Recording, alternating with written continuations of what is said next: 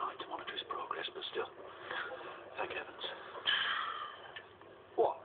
How do you people live with yourselves? I had nothing to do with this.